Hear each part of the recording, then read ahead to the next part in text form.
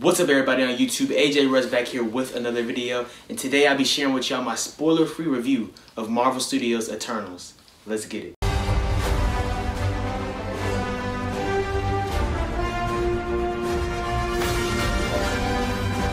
Alright guys, so like I said, this is a spoiler-free review, so if you haven't seen the movie yet, this is perfect. I'm letting you know my general thoughts basically of what happened in the film, and I really enjoyed Eternals, like for real, for real. So Eternals was announced two years ago in 2019, and I wasn't familiar with the characters. A lot of people weren't familiar with the characters of the Eternals. It was created by the legendary Marvel legend Jack Kirby. Um, he created them like in the 60s, I believe, and they're just different characters for sure. I like there's there's ten of them as you saw in the movie Ikaris. I'm not gonna name all of them, but the ones that stood out to me: Ikaris, Ajak, Sersi, uh, Druig, all of them, Gilgamesh, Phastos, uh, Sprite. Uh, just I, I, enjoyed all the characters. There's also a non-Eternal in the movie played by Kit Harington, known as Dane Whitman. In the comics, he ends up becoming Black Knight and he's he's cool in the film. He doesn't have too much screen time, but I mean, you'll see when you watch the movie where that character ends up going. So definitely stay tuned for that. But I mean, just everything about the story. It was cool to see some stuff and some historical events tied to the MCU.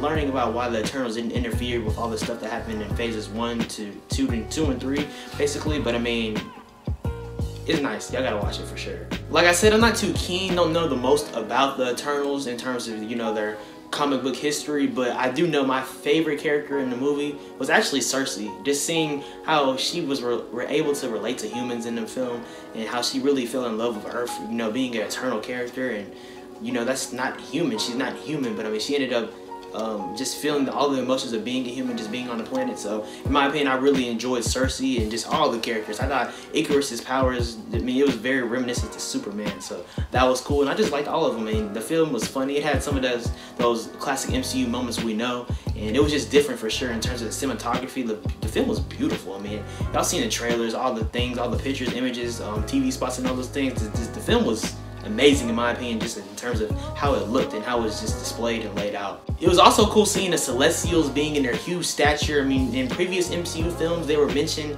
by name and stuff like that. I think we saw like a little glimpse of the Celestials in past films, but I mean, to see the Celestials and just how they were, it was cool to see that. And also seeing the Deviants, they were like kind of the antagonists of the film in some different ways, among other things. But uh, there were some ugly looking motherfuckers. Like, they were, they were cool antagonists in terms of just fighting the Eternals and stuff like that, how they were tied with the Eternals, but I mean, they just look like some ugly animal creatures, but I mean, it was cool to see that and just seeing all the, the artistic elements to this film, it was just truly beautiful and magnificent, magnificent in my opinion. This is a spoiler-free review, so I can't get into anything that goes on, you know that, I mean, y'all know that. I mean, I'm gonna have my spoiler review soon, but man, it's really good. And y'all already know it's a Marvel movie, so there's two post-credit scenes, and they're definitely they're definitely mean a lot in terms of what they mean for the future of MCU, but also just learning more about the history of the Eternals and more cosmic stuff in MCU because I I'm not too keen on all the cosmic things of the MCU. I mean, I know a lot of stuff in past past like five to ten years. I learned a lot about the MCU. I love everything about Marvel content, but I mean, there's a lot. There's so many characters in Marvel history and Marvel lore, so there's just some things that I don't know, but those post-credit scenes, you gotta stay tuned for that for sure. I mean, it, it means a lot and it teases a lot to come.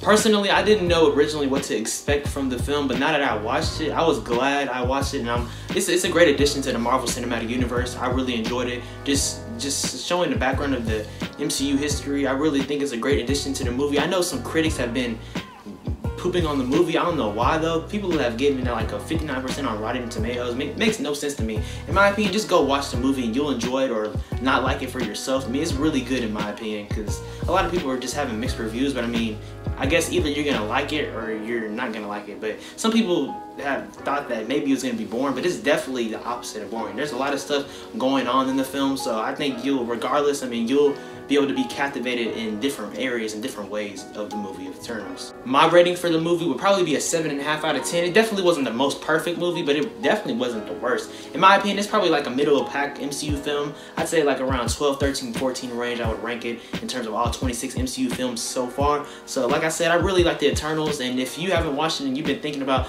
oh, maybe I should watch it, maybe not watch it, definitely go watch it because it means just a lot in terms of knowing where the Marvel Cinematic Universe came from and how it's going and, you know, how things have changed going in the middle and just how things are going into phase four potentially. That's pretty much it for my review though. Let me know in the comments down below if you've seen it already, if you're planning to see it, and if you're excited to see The Eternals. Like I said, it's a beautiful movie with beautiful, beautiful cinematography. So if you are watching this and thinking about watching it, go see the film because it's definitely worth it in my opinion. I appreciate y'all watching. Make sure to like, comment, subscribe, and turn on post notifications. Follow me on Instagram and Twitter at Swaggy Russ. Stay tuned for more Marvel videos. Stay tuned for my next spoiler review of Eternals. So if you see the movie and you're ready to talk about all the Easter eggs and things like that that happen, be ready to watch that for sure because I'm gonna have my spoiler review posted this weekend. Thank y'all for watching. And also, I got a little little video for y'all at my outro because the next Marvel movie that comes out is Spider-Man No Way Home.